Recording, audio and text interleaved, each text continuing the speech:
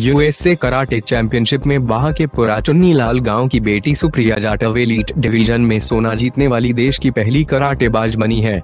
2020 के ओलंपिक में दमखम दिखाने की तैयारी कर रही सुप्रिया जाटव के परिवार में खुशी का माहौल है।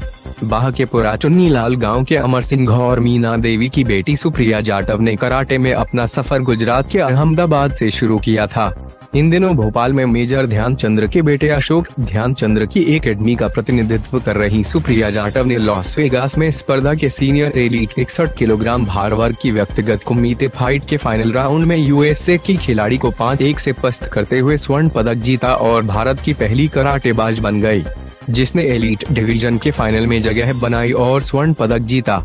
इससे पहले सुप्रिया ने सात तीन से ब्राज़ील को दूसरे राउंड में सात छह से मेक्सिको और तीसरे राउंड में कोलंबिया की खिलाड़ी को दो दो अंकों के आधार पर से परास्त किया सुप्रिया ने कुमीते की टीम फाइट में रजत पदक भी जीता उसकी उपलब्धि पर पिता अमर सिंह मामीना ने खुशी जताई बताया कि इससे पहले वे दो बार कॉमनवेल्थ गेम्स में स्वर्ण पदक जीत चुकी है hello this is Supriya Jatav, Commonwealth gold medalist in karate.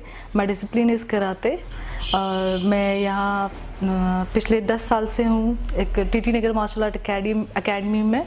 और गुप्ता सर के यहाँ आ रही हूँ चेकअप ट्रीटमेंट के लिए। He is really fantastic person as a doctor he is really good और मैं उनसे काफ़ी सारे ट्रीटमेंट ले चुकी हूँ। मुझे severe severe kind of injuries हुई हैं, जिसमें एक बार को ये लगा कि शायद मेरा टूर्नामेंट छूट जाएगा, या मैं अपने गोल्ड को छोड़ दूँगी, या अपने गोल्ड को छोड़ दूँगी। बट रियली मेरे कोच साहब, मेरी ट्रेनिंग और जैसे सर का सपोर्ट रहा है, मैं ना गोल छूटा, ना गोल्ड छूटा है कभी भी।